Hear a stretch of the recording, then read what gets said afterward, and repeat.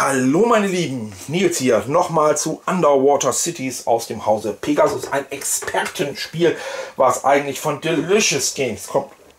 Ja, was fällt mir zu Underwater Cities ein? Das Ganze ist natürlich ein tolles Knobelspiel und die Parallele, die sich mir sofort aufdrängt, ist natürlich zu Terraforming Mars. Hier, hier gehen wir anstatt auf den Mars in das Wasser, aber sehr, sehr, sehr ähnlich. Also an vielerlei Stelle sehr verkopft und sehr kompliziert. Man muss sich nur mal angucken, wie dieses Ding aussieht.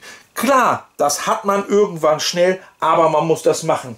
Gleichzeitig muss man ebenfalls sagen, da steht auch einiges an Text drauf, was man dann wissen muss und auch immer wieder lesen muss. Aber es hat eben, wie bei Terraforming Mars, diese ganzen Kartenkombos. Ihr habt das ja gesehen, wie ich das mit den Tunnel genutzt habe. Es bringt, hast du dies, kriegst du das, kriegst du das, kriegst du das, kriegst du jenes. Wie bei einem klassischen Worker Placement Spiel sind die Worker Spots hier sehr limitiert, aber ähm, man kriegt trotzdem eigentlich oft was ab, was man will und was man gut findet.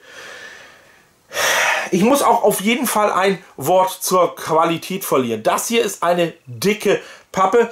Ähm, auch diese Spielmatten, wie bei äh, Terraforming Mars, sind einfach nur Pappe. Das ist natürlich nicht das, was ein Vielspieler, ein Experte haben will.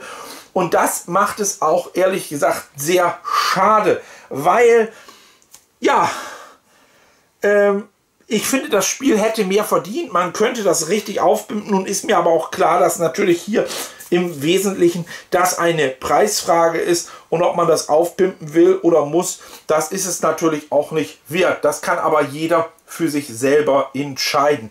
Diese Plastikschälchen kommen natürlich nicht. Die habe ich mir selber dazugestellt. Auch die wären sinnvoll, weil man sonst eben nur diese Pappmarker als Ressourcen hat. Also, lange Rede, kurzer Sinn. Vom Material her ist es funktional, aber sicherlich kann man nicht von Top-Notch reden hier. Das kann man einfach nicht. Das Ganze ist funktional, wirkt auch an der einen oder anderen Stelle eher auf günstig produziert. Dafür hat es dann natürlich aber auch einen, im Umkehrschluss einen sehr, sehr fairen Preis für sehr viel Spiel. Spieltiefe, das kriegt man hier in diesem Expertenspiel.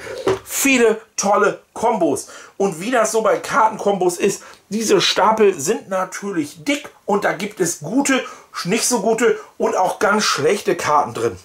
Es ist kein Beinbruch, wenn man es nicht schafft, mit der Farbe das zu matchen.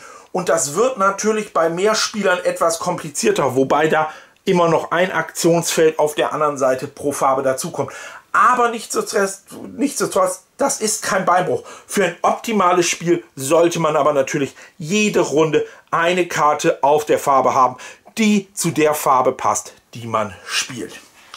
Ja, alles in allem hat mich Underwater Cities gepackt. Ich mag es deutlich lieber als Terraforming Mars. Für mich ist es auch der Terraforming Mars Killer, weil es einfach mehr hat. Terraforming Mars ist eben nur Karten, nur Drafting. Dieses hier ist Worker Placement auf dem Spielfeld und dann Kombos machen. Das ist für mich, für mich ganz persönlich das viel, viel, viel bessere Spiel. Also um Längen. Aber das kann, wie gesagt, auch jeder selber sehen, wie er möchte. So habe ich Underwater Cities, das neue Expertenspiel von Pegasus gesehen. Ich fand es sehr gut und habe mich richtig gefreut, es spielen zu können und werde das auch noch sehr häufig machen. Vielleicht sogar solo, wobei ich noch nie ein großer Solo-Spieler war. Bis zum nächsten Mal, euer Nils. Lasst mir ein Abo da, äh, liked mich, subscribe mich, ihr kennt das. Bis zum nächsten Mal. Tschüss.